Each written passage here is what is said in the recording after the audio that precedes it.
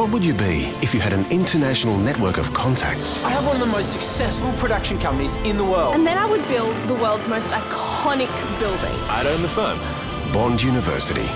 We bring ambition to life.